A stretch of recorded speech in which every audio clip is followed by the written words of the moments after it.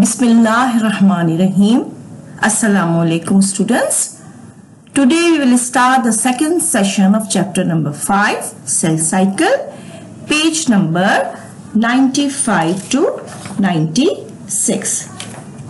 Topic is mitosis. Before starting the mitosis, recall what is cell cycle, what is chromosome. Chromosome are present inside the nucleus of cell. And before starting the replication of cell, they prepare themselves. मैंने आपको first session में बताया था कि क्रोमोटिन material जो nucleus के अंदर होता है डिवाइड होने से पहले अपने आप को प्रिपेयर करते हैं अपने आप को तैयार करते हैं कि हमें डिवाइड होना है।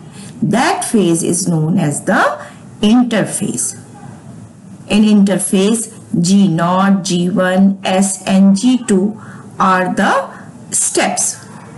In this steps, cells prepare for themselves. They increase in size, they prepare DNA, they replicate DNA and they prepare themselves for the mitosis. Second step is the M phase. यानी अब M phase के अंदर proper cell की division start होगी। इसके four steps है prophase metaphase anaphase and telophase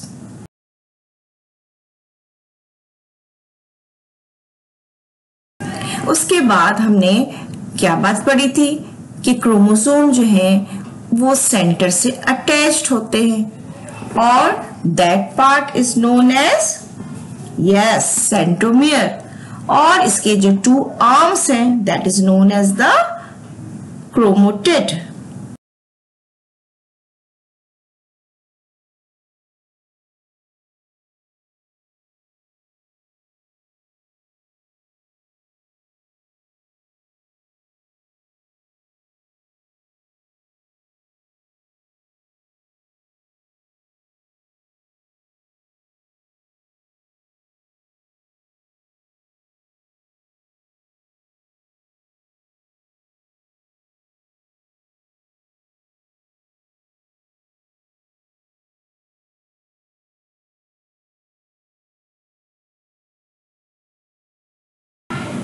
Now today we will start mitosis. What is the meaning of mitosis? This is a division of cell in which parent cells divide into two daughter cells in a way that the number of chromosome in the daughter cell remains the same as in the parent cell. यानी एक cell to cell में जब divide होते हैं तो उनका chromosome number जो है वो सेम होता है। फॉर एग्ज़ाम्पल अगर मदर सेल के पास 46 क्रोमोसोम है तो जब टू डॉटर सेल्स प्रोड्यूस होंगे तो दोनों सेल्स के पास 46 46 क्रोमोसोम होंगे।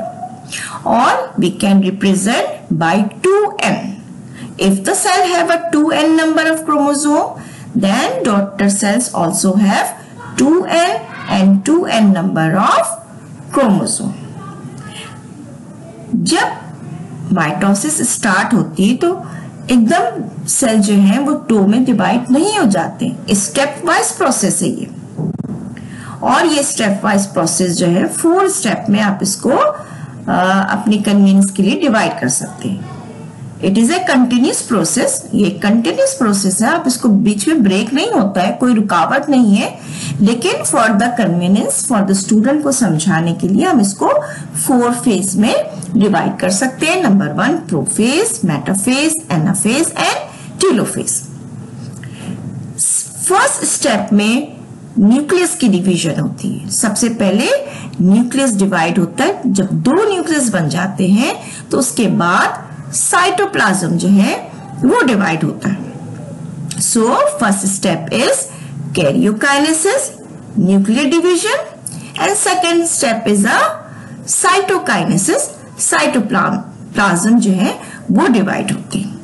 आपको नीचे स्क्रीन पे नज़र आ रहा होगा first step is a karyokinesis it's mean nuclear division जब एक दफ़ा दो न्यूक्लियस बन जाते हैं देन साइटोकाइनेसिस फिर साइटोप्लाज्म हाफ़ ऑफ़ होकर दो सेल प्रोड्यूस करते हैं।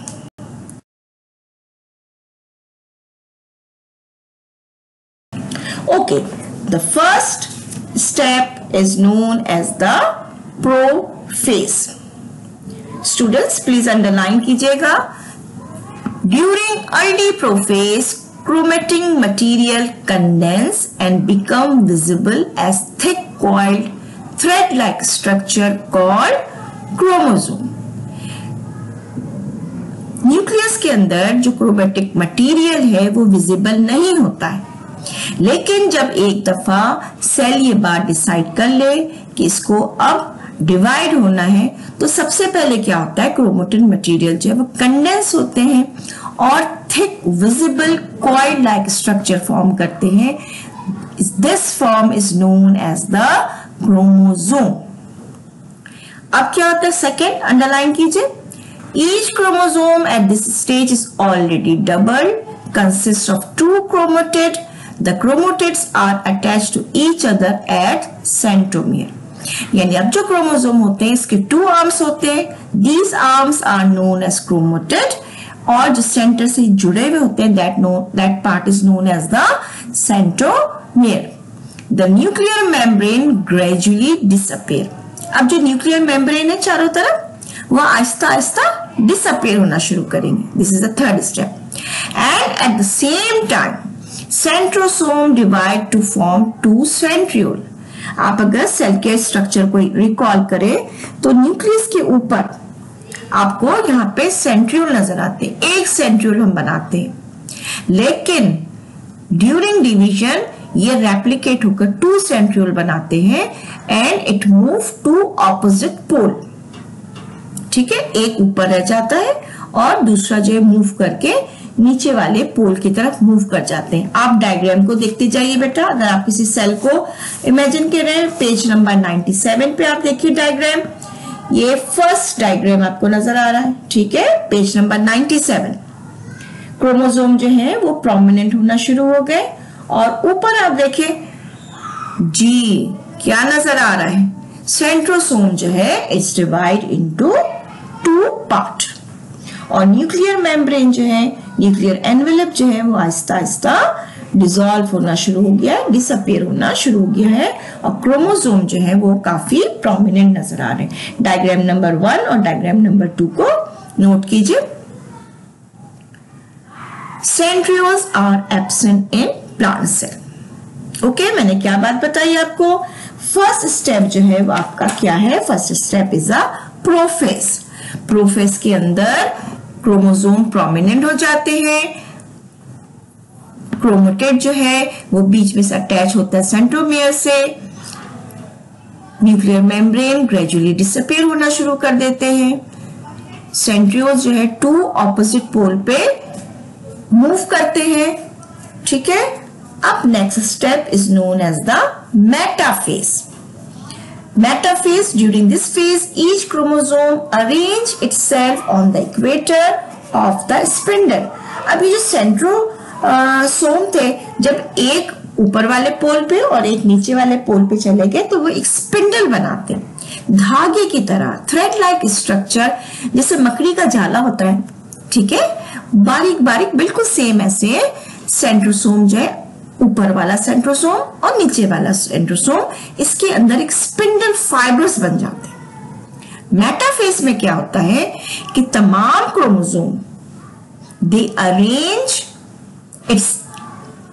itself on the equator of the spindle spindle के बिल्कुल सेंटर पे आके अपने आप को अरेंज कर लेते हैं। और ये बात यहाँ पे खास है। क्या खास बात है? अंडरलाइन करते जाइए।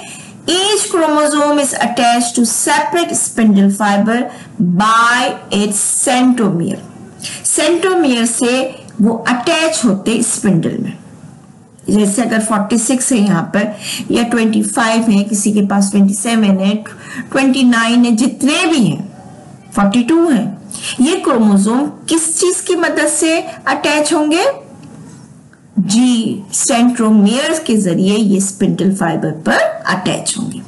अंडरलाइन कीजिएगा स्टूडेंट्स तमाम लाइन को अंडरलाइन किया। They all are the very important points next step आप इसके लिए डायग्राम पेज नंबर 97 में थर्ड डायग्राम आप देखिए, जहाँ पे मेटाफेज लिखा हुआ है। क्रोमोजोम जो है, वो अटैच है स्पिंडल्स पे। स्टूडेंट्स हमारे पास इतने कम क्रोमोजोम्स नहीं होते हैं, लेकिन जब हम स्टडी करते हैं तो we take the example of four chromosome ताकि स्टूडेंट्स को बात अच्छी तरह समझ में आ जाए। अगर मैं यहाँ पे 46 क्रोमोजोम्स बनाऊँगी, या बुक पे 46 क्रोमोजोम प्रिंट होंगे तो वो एक दूसरे के ऊपर होंगे, आपको नज़र नहीं आएगा। तो हम यहाँ पे डायग्राम शो करने के लिए आपको तस्वीर साफ़ समझ में आ जाए तो हम आमतौर पर फोर क्रोमोजोम की डायग्राम बनाते हैं। Anaphase. In this phase, the spindle fiber contract, centromere of the chromosome divide and the chromatides of each chromosome separate from each other and begin to move towards the other pole. ये बात मैंने आपको पहले बता दी कि chromosome अपने duplicate बना लेते हैं ठीक है ना बिल्कुल सेम कॉपी बनाते हैं अब क्या होता है सेंट्रोमियर से ये दो जो इनके आर्म्स हैं ये एक दूसरे से सेपरेट होते हैं और सेपरेट होने के बाद हाफ़ ऊपर चले जाते, ऊपर वाले पोल की तरफ़ मूव करते और हाफ़ जो है towards the other pole move करते। दोबारा रिपीट कर रही हूँ फोर्टी सिक्स थे, इन्होंने अपनी डुप्लीकेट बनाया हुआ है और हाफ़ क्रोमोजोम ऊपर वाले पोल की तरफ़ और हाफ़ क्रोमोजोम नीचे वाले पोल की तरफ़ मूव करना शुरू करते हैं। In this way one set of the chromatid Each chromatid is now an independent chromosome, move towards one pole, while the other set towards the other pole. ठीक है? डायग्राम देखिए। Anaphase look at the diagram page number 97 जी half chromosome जो है, ऊपर वाले पोल की तरफ़ मूव कर रहे हैं और हाफ़ जो है वो नीचे। बट ये बात याद रखिएगा कि नंबर ऑफ़ क्रोमोसोम जो है वो सेम है। ठीक है, अगर 46 क्रोमोसोम थे सेल के अंदर, या यहाँ पे हमने डायग्राम में फोर क्रोमोसोम शो किए थे तो ऊपर भी four chromosome double helical shift हो रहे हैं और नीचे भी उतने ही क्रोमोसोम शिफ्ट हो रहे हैं।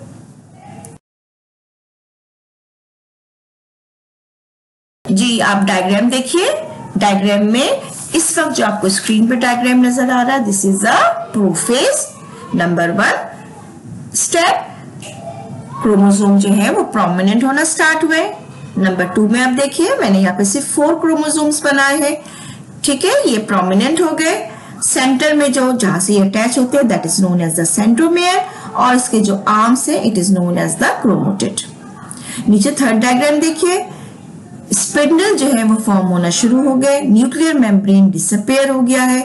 Centrosome divides to form two centriole and they form the spindle fibre ठीक है? मैंने स्टेप वाइज बना के दिखाया ताकि आपकी समझ में आ जाए। मेटाफेस में क्या होगा? स्पिंडल्स फॉर्म हो चुके थे। Chromosome arrange itself on the equator अपने आप को इन्होंने इक्वेटर पे सेट कर लिया है। अगर मैंने आपको सिर्फ़ फोर क्रोमोजोम शो किया आप इस तरह देखिए they are attach in the separate spindle then third step anaphase में हाफ़ क्रोमोजोम जो है वो एक पोल की तरफ़ मूव कर रहे हैं और हाफ़ जो है वो नीचे वाले पोल की तरफ़ मूव कर रहे हैं। Chromosome separate from each other and begin to move towards the two poles जी, जो आपकी बुक की डायग्राम है, वो भी आपको स्क्रीन में नज़र आ रहा है। अभी तक हमने सिर्फ़ चार डायग्राम को डिस्कस किया है, ठीक है? और फोर्थ डायग्राम एनाफेस तक हम पहुँच गए। Fourth step, telophase. That is a stage when the chromatid, now called the chromosome, reach at the respective pole and their movement cease. अपने अपने पोल तक पहुँच गए वहाँ जाके रुक जाते हैं Each pole receive the same number of chromosome as were present in the parent cell. अब दोनों पोल के पास उतने ही क्रोमोजोम हैं जितने के उनके पेरेंट्स के पास थे फॉर एग्ज़ाम्पल उनके पास अगर 46 है तो ऊपर वाले पोल पे भी 46 जाएँगे नीचे वाले पोल पे भी 46 आएँगे अगर उनके पास 42 थे या 16 थे तो 16 ऊपर वाले पोल पे जाएँगे और 16 नीचे वाले पोल पे आएँगे the nuclear membrane is reformed around each set of chromosome. In this way, two daughter nuclei form in each cell. अब क्या होगा दोनों पोल्स के पास जितने क्रोमोसोम मौजूद है, इनके चारों तरफ़ आहिस्ता आहिस्ता न्यूक्लियर मेम्ब्रेन बनना स्टार्ट हो जाता है। टीलोफेस के डायग्राम देखिए आपको, नज़र आ रहा है, यहाँ पे न्यूक्लियर मेम्ब्रेन जो है वो फॉर्म हो गया। ये चारों स्टेप्स जो थे, हमने जो पढ़ा है, प्रोफेस, मेटाफेस, एनाफेस, एंटीलोफेस, ये सारे स्टेप जो है वो आपके कैरियोकाइनेसिस में आ जाते हैं, यानी न्यूक्लियर डिवीज़न हुई है। अब क्या बच गया आपके पास? साइटोप्लाज्म साइटोप्लाज्म को अब डिवाइड होना है। Yes so the second heading the B part is the cytokinesis page number 97 अब क्या होगा? स्लोली साइटोप्लाज्म डिवाइड हो जाएँगे और दोनों सेल को हाफ़ हाफ़ मिल जाएँगे। Soon the cytoplasm of the cell also divide and two daughter cells are formed. In animal cells, cytokinesis take place by the developing a constriction. This constriction become deep to divide cytoplasm into equal half and two daughter cells are formed. In plant cell, it occur by the developing cell plate. In this way, the daughter cell become the exact copy of their parent cell. अगर तो ये animal cell है तो बाहर से depression start होगी और आहिस्ता आहिस्ता आहिस्ता जाकर सेंटर में मिलेंगे और दो सेल बन जाएँगे। और अगर ये प्लांट सेल है तो सेंटर पे जाके इसके प्लेट्स बनना शुरू होती है और ये प्लेट्स पहले सेंटर पे बनता है, जो आहिस्ता आहिस्ता बाहर की तरफ़ जाने के बाद दो सेल टू डॉटर सेल्स जो है वो प्रोड्यूस करती है। लेकिन यहाँ पे ये बात याद रखिएगा माइटोसिस के अंदर टू डॉटर सेल के अंदर नंबर ऑफ़ सेल्स जो है वो सेम होते हैं। अच्छा मैं आपको यहाँ पे एक बात बता दू। माइटोसिस किन सेल्स में होते हैं?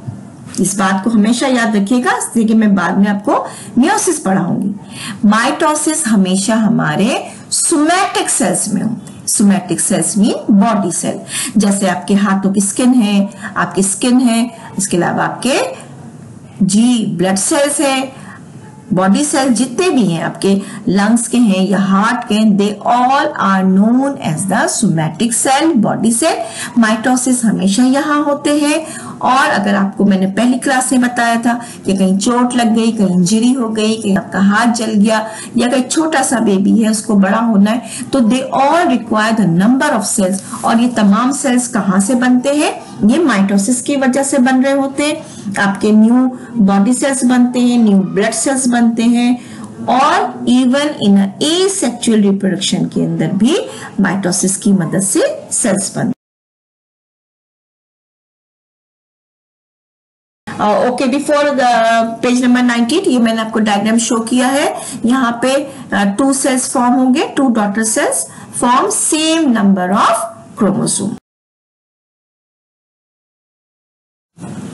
page number 98 significance of mitosis but underline कीजिएगा number one last line first line की number one It is the responsible for the development and growth of organism by increasing exact copy of cell. मैंने बता दिया आपको अगर plants हैं या animal है उनका size बढ़ रहा है उनके अंदर growth हो रही है उनकी development हो रही है तो कौन सा process होगा mitosis. Number two, third line पे निशान लगाइए all kind of asexual reproduction and vegetative propagation take place by mitosis.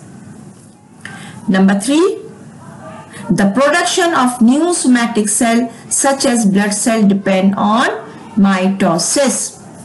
And number four, the healing of wounds, repair of wear and tear within organism is also depend upon mitotic division. यानी मैंने आपको चार significance बताई है और one two three four इसको आप please number से लिख लीजिए। जब आंसर लिखेंगे तो उस वक्त भी आप इसको वन टू थ्री करके लिख लीजिएगा ताकि आपको बात अच्छी तरह समझ में आ जाए। Last topic is the apoptosis और नेक्रोसिस यानी सेल की डेथ हो जाती है। देखिए, अगर कोई छोटा बेबी है और उसके जो सेल्स बन गए हैं, वो सारी ज़िंदगी उसके साथ वो सेल्स नहीं रहते। ठीक है? आप अपने आप को देखिए, आपकी साइज़ जो है वो बढ़ रहा है आपकी ग्रोइंग एज है। जब आप दो साल के थे, जब आप फाइव इयर्स के थे, या इस वक्त आप थर्टीन इयर्स के हैं तो आपका जो साइज़ इंक्रीज हो रहा है तो जो ओल्ड सेल्स होते हैं, वो खत्म हो जाते हैं न्यू सेल्स बन जाते हैं। अब इसकी टू वे है। या तो एपोप्टोसिस हो, या नेक्रोसिस होगी। इसके अलावा एक और बात होती है, जिसको हम कहते हैं कि जो सेल्स हैं वो अपने आप को रेगुलेट करता है कंट्रोल करता है अपनी एक्टिविटीज़ को। ठीक है? Programmed cell programmed cell का मतलब होता है कि बात अल्लाह ताला ने बॉडी के अंदर पहले से प्रोग्राम किया हुआ है कि ये काम तो होना ही है। जैसे फॉर एग्ज़ाम्पल जब ह्यूमन एम्ब्रियो की डेवलपमेंट होती है तो उसके टेल भी फॉर्म हो रहा होता है। लेकिन क्या होता है? The tail of developing human embryo जो है वहाँ पे स्टॉप हो जाते हैं, उसके सेल वहाँ पे रुक जाते हैं।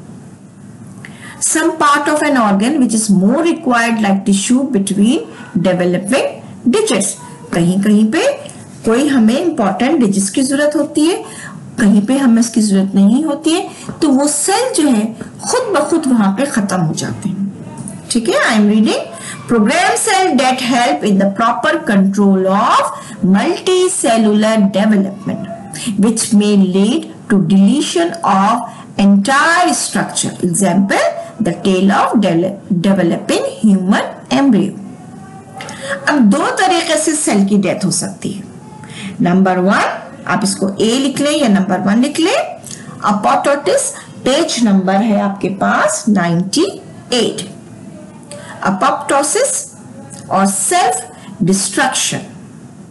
Program change which led to sequence of physiological changes in cell by which cells commit suicide collectively called apoptosis. यानी प्रोग्राम चेंज होता है तमाम सेल मिलकर सोच लेते हैं भाई अब तो हमें खत्म हो जाना है और वो अपने आप को डिस्ट्रक्ट कर लेते हैं खत्म हो जाते हैं उनको ये बात मालूम होता है कि उनकी एज खत्म हो गई है अब न्यू सेल्स बनेंगे। यहाँ पे मैं आपको ब्लड सेल्स की एग्ज़ाम्पल देती हूँ। हमारे पास जो ब्लड सेल्स होते हैं, वो तकरीबन 125 डेज़ के बाद खत्म हो जाते हैं लिवर में जाते हैं और लिवर में जाने के बाद उनको डिस्ट्रक्ट कर दिया जाता है और न्यू सेल्स बोन मैरो जो है, वो न्यू सेल्स बनाते हैं। दिस इज़ अ प्रोग्राम अल्लाह ताला की तरफ़ से ये सेल बनेंगे, खत्म हो जाएँगे न्यू सेल्स बन जाएँगे। But second is a necrosis ये क्या होता है? This is because of the external factor जैसे आपको चोट लग गई, आपको किसी किसी पे इन्फेक्शन हो गया, कोई फंगल इन्फेक्शन हो रहा है, कोई बैक्टीरियल इन्फेक्शन हो गया है, आपका हाथ छुरी से कट गया है, वहाँ पे ब्लड बह रहा है तो ये तमाम चोट जो हमें लगती है, जो ट्रॉमा होता है, कोई इन्फेक्शन हो रहा है, वहाँ के जो सेल्स होते हैं, वो डेड हो जाते हैं because of the external factor और बाद में वहाँ पे न्यू सेल्स बन जाते हैं by the process of photo synthesis. Okay, student, page number 106. 106 पे हम आज सिर्फ़ दो या तीन क्वेश्चंस करेंगे, बाकी अभी हमने रीड नहीं किया.